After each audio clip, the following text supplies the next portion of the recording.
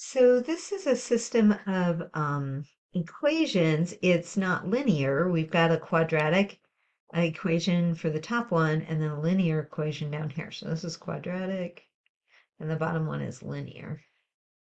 Okay, but we can solve by the substitution method. So probably um, it's what's the easiest way to do it?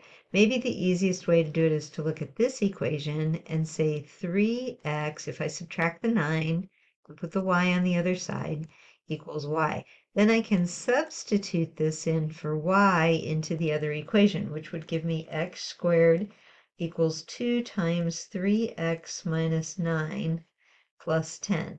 Now, I don't know if this is the easiest way to do the problem, but it's one way to do the problem.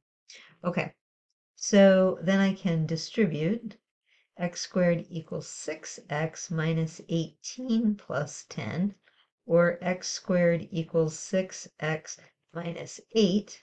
And then if I get everything on one side, because it's quadratic, I get x squared minus 6x plus 8 equals 0. So moving stuff over to the other side. Now, this appears pretty good because I can factor this. So x minus 4 and x minus 2 is how it factors. And so I get two solutions for x, 4 and 2. Now, those are two separate solutions, and we are looking for a system, I'm sorry, a solution to the system, an ordered pair because we have x and y. So we still have to find y. So let's say x equals 4. Then using this substitution equation, um, 3 times 4 minus 9 equals y, or 12 minus 9 equals y, or 3 equals y. Okay, that gives us an ordered pair then of 4, 3. So we're saying that's one of the solutions. You can try it into the other equation, into the quadratic, and see if it works. You get 16 on the left, and you get 16 on the right. You know, mentally, I'm just figuring that out. but if you put in the 4 for x and the 3 for y. Okay, now our other solution for x was x equals 2. So we plug in 2 into this equation. 3 times 2 minus 9 equals y. 6 minus 9 equals y. Or negative 3 equals y. And so we get an ordered pair of 2. I'm going to write it over here. 2 comma negative 3 x comma y. Those are our two solutions. Now that one I checked mentally in my head, but this one I'll write out so you can see it. So when I'm checking it, I already know it works in this equation. You can write it out, but we, that's how we got it, right, over here. But what about the other equation? x squared equals 2y plus 10. Well, x is 2, so you have 2 squared, and you have 2 times negative 3 plus 10. So on the left, you get 4, and here you get negative 6 plus 10, which is 4. Okay, so yeah, it works. All right, so there are two solutions.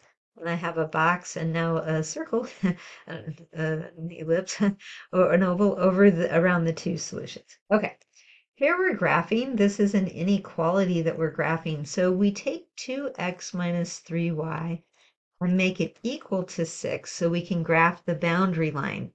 Now, I would probably put it in slope-intercept form.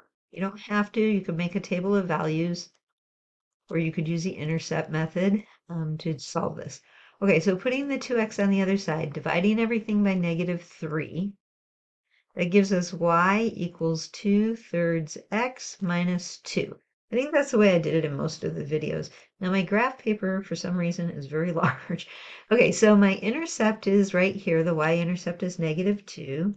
And then my slope is up two and running three. So up to one, two, three, up to one, two, three.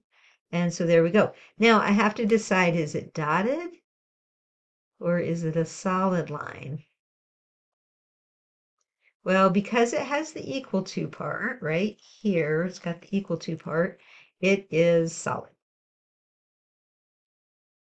And then we have to pick a point not on the line. Usually we pick 0, 0. And we see if that works in the equation to know which side to shade.